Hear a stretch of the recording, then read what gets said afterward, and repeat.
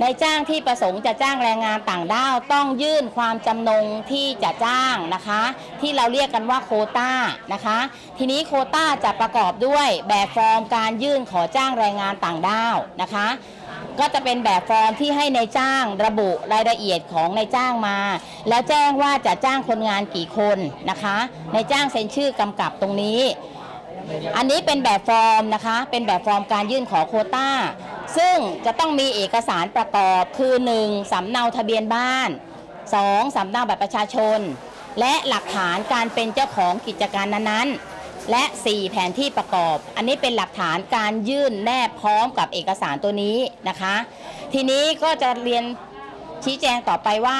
ในกรณีเอกสารประกอบว่าคุณเป็นเจ้าของกิจการนั้นๆ จะยกตัวอย่าง เช่น กรณีคุณเป็นเจ้าของกิจการสวนผลไม้คุณก็ต้องเอาหลักฐานที่แสดงพื้นที่มาแสดงกับเรา จะเป็นโฉนดก็ดี พบท5ก็ดีอะไรก็ตาม ที่ระบุจำนวนพื้นที่มาแจ้ง กรณีถ้าเป็นร้านค้าประกอบพาณิชย์ ก็ต้องมีใบประกอบพาณิชย์นะคะ อันนี้ยกตัวอย่าง ถ้าเป็นกรณีฟาร์ม กรณีเลี้ยงกุ้ง นะคะ ก็ต้องเอาหลักฐานที่คุณจดทะเบียนฟาร์ม อีกกรณีหนึ่งคือกรณีประมงก็จะต้องเอาทะเบียนเรือ หรือว่าอาญาบัตรมาแสดงกับเรา เหล่านี้เป็นหลักฐานประกอบการยื่นขอโคต้านะคะ ทีนี้พอเมื่อคุณมีความประสงค์จะจ้างแรงงานต่างด้าวคุณต้องมายื่นขอโคต้า แล้วเราจะออกหลักฐานเรียกว่าใบโคต้าให้ว่า คุณเป็นนายจ้างชื่ออะไรประเภทกิจการอะไร ได้รับอนุญาตให้จ้างแรงงานในกิจการใดเอ้ในประเภทใด เราอนุญาตให้สองประเภทคือกรรมกรและรับใช้ในบ้าน ตรงนี้เป็นหลักฐานแสดงว่าคุณสามารถจะจ้างแรงงานต่างด้าวได้ อันนี้เป็นขั้นตอนการขอโคต้า ซึ่งอันนี้เป็นในส่วนของนายจ้าง แต่ณเวลานี้นะคะเรารับแจ้งจ้างคนงานต่างด้าวเนี่ยอยู่ 2 กรณี ก็คือกรณีที่ 1 คนงานที่ผิดกฎหมาย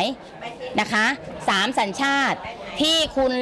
จ้างกันอยู่ในบ้าน โดยยังไม่ได้ดำเนินการตามขั้นตอนของกฎหมายนะคะ ก็ณเวลานี้ให้เอาเฉพาะทะเบียนประวัติ ทะเบียนประวัติหมายความว่าคุณมีคนงานอยู่ในบ้านกี่คน คุณกรอกรายละเอียดของเขาชื่อนามสกุลสัญชาติ เพศอายุ และติดรูปถ่าย1นิ้ว1รูป ในแบบฟอร์มนี้จะติดได้ 5 คนนะคะ มีกี่คนก็นำขึ้นมาแสดงประวัติให้หมดเลย และเอามายื่นกับเจ้าหน้าที่ภายในวันที่ 15 กรกฎาคมอันนี้เป็นกรณีทั่วไปยื่น 15 กรกฎาคมเมื่อคุณยื่นกับเราแล้วเราจะรับรองเอกสาร ตีตาประทับเซ็นชื่อเจ้าหน้าที่กำกับ และถ่ายเอกสารให้ในายจ้างถือไว้ 1 ชุด และคุณก็นำประวัติเหล่านี้แล้วก็คนงานเนี่ยทำงานเป็นปกติอยู่ในสถานประกอบการนะคะ อันนี้เป็นขั้นตอนของการผิดกฎหมาย แต่ถ้าเป็นกรณีที่นายจ้างประสงค์จะไปรับคนงานกัมพูชากลับมาจากศูนย์บ้านแหลม จะต้องแจ้ง จะต้องแจ้งกับเราแจ้งความประสงค์ จะรับแรงงานกัมพูชากลับเข้ามาทำงานในประเทศไทย คุณจะต้องขอโคต้ากับเราก่อนนะคะ ขอโคต้ากับสำนักงานจัดหางานก่อนโคต้าก็คืออธิบายให้ทราบตั้งแต่ขั้นต้นแล้วนะคะ แล้วก็แจ้งกับเจ้าหน้าที่โดย แจ้งรายละเอียดว่าคุณชื่ออะไรคุณจะไปรับคนงานกี่คน และนัดวันเวลากับเจ้าหน้าที่ เจ้าหน้าที่ก็จะประทับตา รับรองว่าในวันนี้คุณจะไปรับคนงาน เพื่อเราจะส่งต่อข้อมูลไปที่ศูนย์บ้านแหลมนะคะ ซึ่งหมายความว่าคุณจะต้องติดต่อกับคนงานของคุณให้ได้ และไปผ่านกระบวนการเข้าเมืองโดยถูกกฎหมายมา ไปเจอกันที่หน้าศูนย์ปุ๊บก็เราเอาเอกสารพร้อมคนคนงานที่ไปรับกลับมาเนี่ย เข้าไปสู่กระบวนการของศูนย์รับคนงานกลับ ในนั้นจะมีหน่วยงานของเจ้าหน้าที่สำนักงานเนี่ยไปรับเอกสาร และก็หน่วยงานของกรมการปกครอง พาคนงานมาสัมภาษณ์ถ่ายรูปทำประวัติ และออกสมาร์ทการ์ดสีชมพูเสียค่าธรรมเนียม 80 บาท และให้เจ้าหน้าที่สำนักงานจัดหางานรับรองเอกสาร คุณถึงจะเคลื่อนคนงานออกจากศูนย์บ้านแหลม กลับมาสู่สถานประกอบการคุณ และทั้งสองกรณีนี้ก็รอว่าเมื่อใดที่จังหวัดจันทบุรีประกาศตั้งศูนย์วันสต็อปเพื่อให้มีขอใบอนุญาตทำงานก็ค่อยเอาคนงานเหล่านี้เข้ามาดำเนินการนะคะ อันนี้เป็นขั้นตอนคร่าวๆนะคะ ปัญหาที่เราเจอเวลานี้ก็คือนายจ้างยังไม่มีการอนุญาตให้จ้างแรงงานต่างด้าวณวันนี้เราเปิดให้ขออนุญาต แล้วก็เอาประวัติคนงานมาแสดงนะคะ อันนี้เป็นขั้นตอนที่เราทำกันวันนี้ โดยคนงานที่ผิดกฎหมายอยู่ในบ้านคุณสามสัญชาติ เราจะรับแจ้งถึงวันที่ 15 กรกฎาคม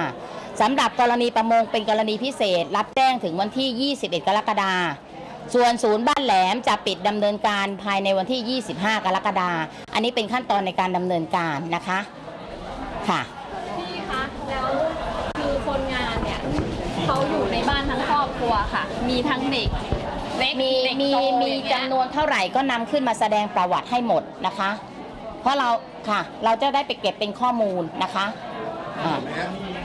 ร้านค้าบริษัทเนี่ยคนกี่คนกำหนดไหมเอคอรับไม่กำหนดค่ะณเวลานี้คุณคุณมีตัวบุคคลต่างด้าวอยู่เท่าไหร่นำขึ้นมาแสดง และเราจะพิจารณาจากจำนวนหลักฐานที่คุณนำมาประกอบว่าจะจ้างได้กี่คนณเวลานี้นะคะ อันนี้เลยแล้วในจันทบุรีคุณมีไซต์งานไหมมีไซต์งานมีไซต์งาน แล้วมีสัญญาจ้างว่าเออก่อสร้างที่จันทบุรีกับบริษัทแม่ไหมมีสัญญาจ้างของของของ ของทางเอ่อผู้ผู้รับจ้างเนี่ยครับต้องเอาสัญญานั้นมาแสดงนะคะ อ๋อแล้วตัวนี้ที่เป็นไบโคต้านี้ใช้ อันนี้ใบโควต้าอันนี้ออกที่กรุงเทพนะคะครับออกที่กรุงเทพแต่คุณมาเพิ่มเท่ากับคุณมามีไซต์งานเพิ่มที่นี่ผมใช้งานอยู่ที่นี่ค่ะ ครับ ก็ต้องเอาสัญญาที่บริษัทแม่คุณทำกับบริษัทที่ตรงนี้มาแสดงนะคะค่ะ แล้วตัวนี้ผมผมขึ้นทะเบียนได้เลยหรือเปล่าหรือว่าต้องเอาตัวนั้นมาก่อนเอาตัวนั้นมาก่อน ต้องมีหลักฐานครบนะคะเออเออในจ้างเวลานี้ที่เราเจอก็คือส่วนใหญ่ก็หลักฐานไม่ครบนะคะ หลักฐานไม่ครบเราก็ไม่สามารถพิจารณาให้ได้ แต่พยายามดิฉันเวลาเวลานี้ทางสำนักงานจัดหางานน่ะเห็นความตั้งใจของคุณที่พยายามจะเอาคนงานขึ้นมาทำให้ถูกกฎหมาย เมื่อเรามีอะไรขัดข้องเนี่ยขอความกรุณาปรึกษาเจ้าหน้าที่ ถ้าเจ้าหน้าที่ ดำเนินการให้จะดำเนินการให้หมด เราเปิดดำเนินการทุกวันไม่เว้นวันหยุดนะคะ และเราเปิดดำเนินการจนกว่านายจ้างคนสุดท้ายจะออกจากสำนักงานไปนะคะ อันนี้ต้องขอความกรุณาขอความเห็นใจจากนายจ้างนิดนึงนะคะ ปีหนึ่งเรามาทำกันตรงนี้นะคะ เจ้าหน้าที่มีเพียงแค่นี้เองเพราะว่าเราต้องเปลี่ยนชุดหนึ่งไปที่ศูนย์บ้านแหลมนะคะ แล้ววันนี้จะมีกิจกรรมเพิ่มคือมีกิจกรรมนัดพบแรงงาน เพราะฉะนั้นกิจกรรมมันจะซ้อนกันขอความกรุณาในจ้างให้สอบถามและใจเย็นนนะคะ เรายินดีบริการให้ครบทุกคนนะคะ ขอบคุณมาก